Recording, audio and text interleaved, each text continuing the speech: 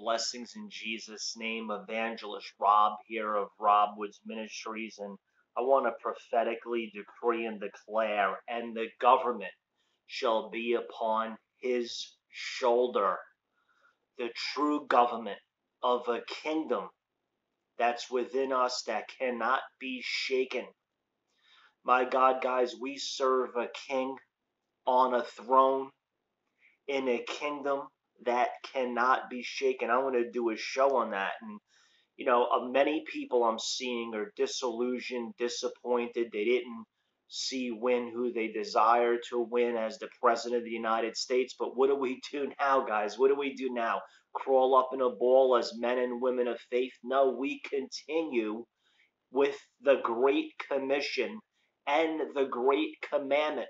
Never put the Great Commission before the Great Commandment. The Great Commission going into all the world, preach the gospel, every creature, make disciples. And then the Great Commandment, love the Lord thy God. Have no other gods before him. That's the Great Commandment, which needs to be before the Great Commission. That's our mission. The, the things that's perplexing is I'm still seeing days after the inauguration people trying to explain what happened, what didn't happen, that it's still going to happen. And I'm like, dude, just please go on with your calling. Preach Christ and Christ crucified. Let's stop trying to prove our point, our agenda, wrap God. Listen, God's never going to wrap around my agenda or your agenda. We're going to wrap around His agenda. Now, before I continue, It'd be an honor if you knew. Please subscribe. I'm live every Monday, 9 p.m. New York Eastern, prophesying the word of the Lord. Now, to this Isaiah chapter 9, verse 6. For unto us, I'm going to sneeze. oh, God, help me. Now, there was a time when I would just abort the video and start over because it's offensive and sneeze, but you know what? Everyone in the comments say, God bless you, brother. I'm kidding you. Isaiah chapter 9, verse 6 For unto us as a child is born, unto us a son is given, and the government will be upon his shoulder. His name will be called Wonderful, Counselor, Mighty God, Everlasting Father, Prince of Peace, of the increase of his government.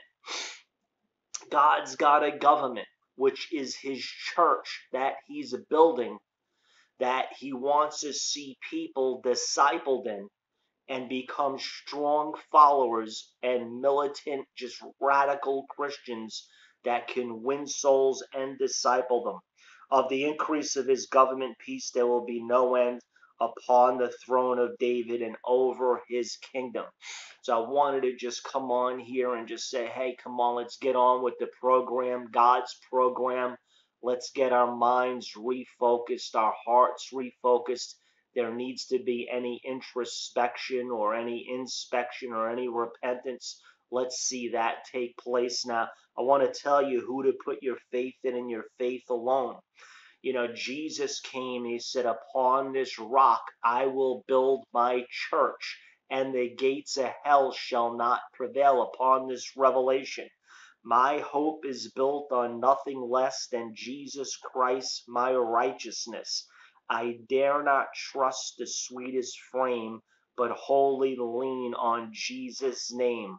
On Christ, the solid rock, I stand. All other ground is sinking sand. All other ground is sinking sand. Lord, let us put our faith and our trust in you, not in an institution not in a man or a woman, not in an agenda. Let us place our trust in Jesus and Jesus alone, the Word of God. Let us not place our trust in man. It's vain, vain to trust in man. Don't place your trust in man. Are you kidding? You know, as an evangelist, I've been doing this over 30 years now. I wasn't always full time, and I'm really not. I'm an entrepreneur, I'm a business person, but most people could write books I could write encyclopedias from the things I've seen from being in ministry three decades. I can tell you stories. If I told you these stories, you wouldn't even, you would think I made them up. So I'm telling you, I've learned one thing all through all of it, through 30 years, and there are people serving the Lord way longer, 40, 50, 60 years, way more powerful than what I've ever, I am done. But the point that I've learned one thing, I place my trust in Jesus and Jesus alone. And that's what I'm telling you to do. Stop listening to a degree to all of this fluff and all of get your head, your mind, your spirit in the word of God, stay in it. Get under some good leaders that you could be groomed, groomed under. You don't need a lot of them. You need the right ones that'll give you the right key for the right season. You need the right people in your life to enter into covenant with that you can learn from in the right season. Hey, the Lord bless you in Jesus' name.